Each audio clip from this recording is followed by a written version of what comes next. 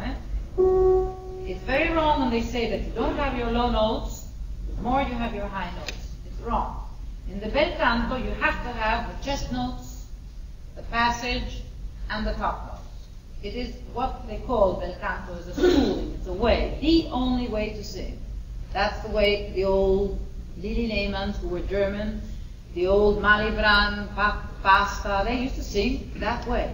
And they had chest tones.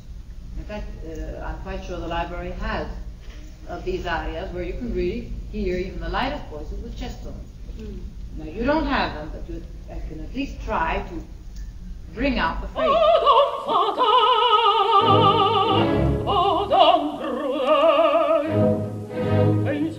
furor mi fece mi le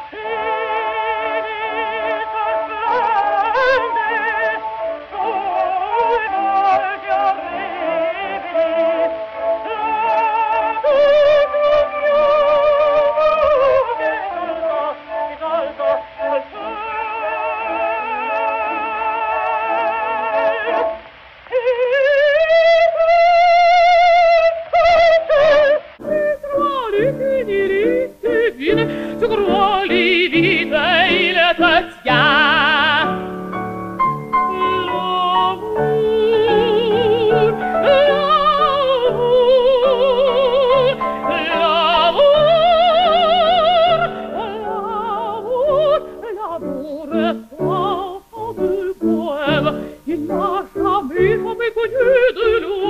C'est si je regarde toi. Si tu si tu. Mais si je t'aime, si je t'aime,